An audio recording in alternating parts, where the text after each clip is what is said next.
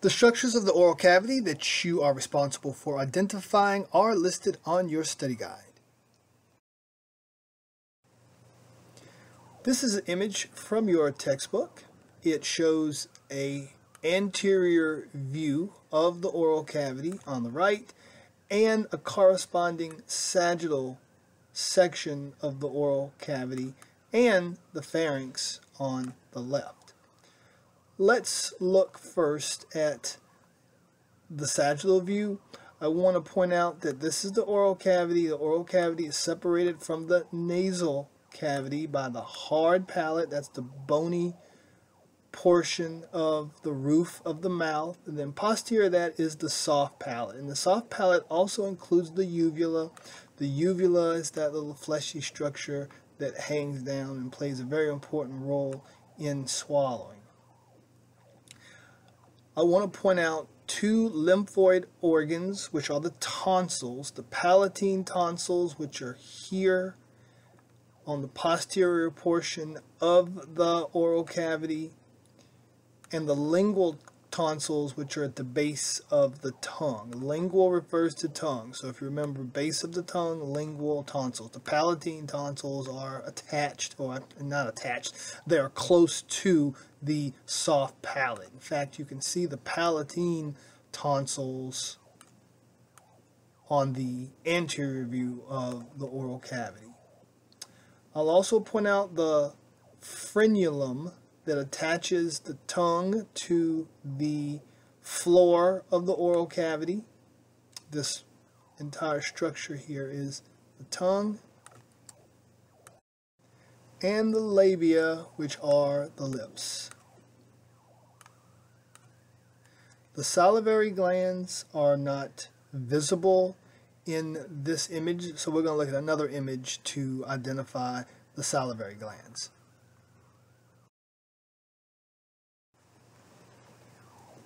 This figure shows the salivary glands. There are three that you need to be able to identify. The parotid salivary glands, which are anterior and a little inferior to the external acoustic meatus of the ear. You have the sublingual salivary glands, which are under the tongue. Again, lingual refers to tongue. Sub is below. And below the mandible, you have the submandibular salivary glands. So the names are very, very descriptive.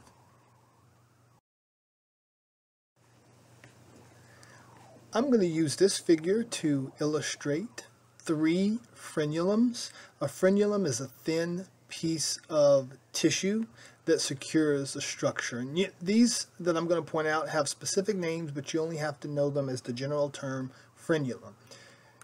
This is the superior labial frenulum that secures the uh, upper lip or superior labia.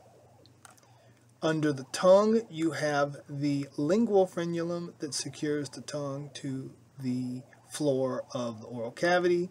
And we have this third frenulum, the inferior labial frenulum, which secures the inferior labia. Again, uh, you don't have to know the specific names, just know the general term, frenulum. And I think you will agree that you have all seen and touched frenulums before, and now you know the correct term for these structures. Let's now turn our attention to the pharynx and esophagus.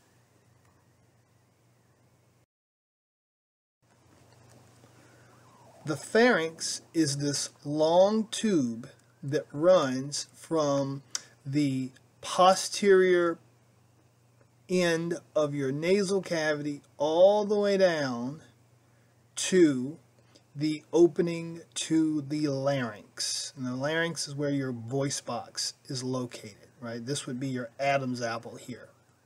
Okay, just to give you an idea. Another name for pharynx is throat. So the pharynx is your throat.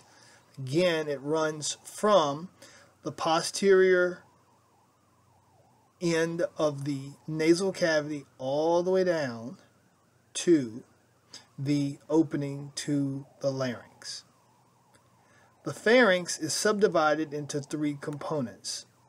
The portion posterior to the nasal cavity is called the nasopharynx. It's not on your study guide because it is part of the respiratory system, not the digestive system. Food should not be passing through the nasopharynx.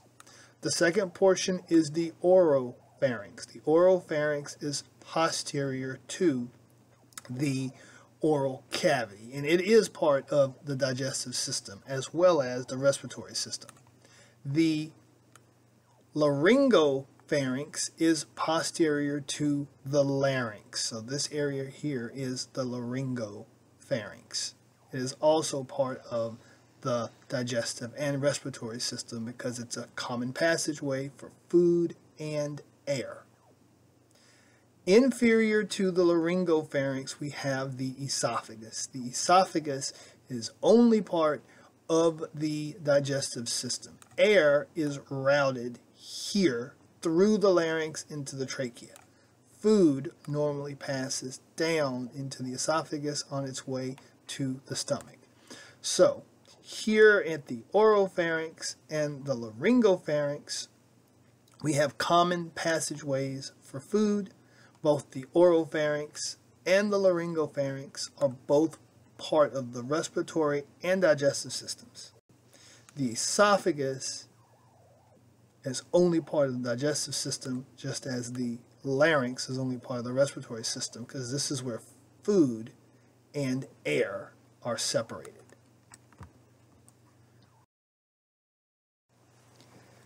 Let's now identify all the structures that we can on this sagittal head model.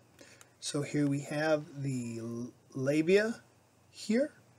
This would be our oral cavity. Here's the tongue, hard palate, soft palate, including the uvula. Here we have the palatine tonsils.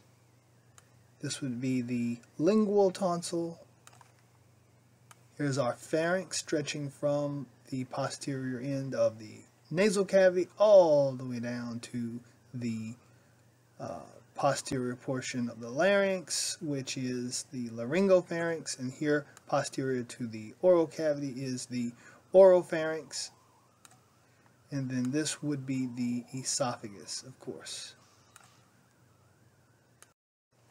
Note that you will not be asked to identify the salivary glands on this model, nor will you be asked to identify a frenulum on this model.